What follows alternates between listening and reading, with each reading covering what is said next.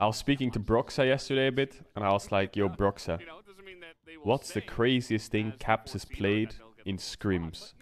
And he said, uh, "It was in 2018." He said in their Korean bootcamp, he said Caps said Draven mid was good here, and then the whole game was revolving around mid because Caps just kept running in and trying to tower dive enemy mid in their Korean bootcamp, and uh, he completely entered the whole game. But he was convinced that it was good in the in the draft, and that was that was really that was such a Caps thing, isn't it? Like just picks Draven mid, tries to dive the enemy mid level 2, 3, 4, 5, 6, 7, 8, 9, 10, and then just solo loses the game. Fucking legend Caps. And he played the. He told me he played the Draven skin with the big head. You know Draven Draven skin. Imagine FNC caps on Draven Draven with ignite and Hail of Blades or whatever the fuck the rune was. Just trying to die a few level every level every wave.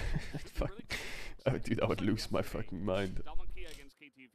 Come mid, guys. This guy's fucking griefing.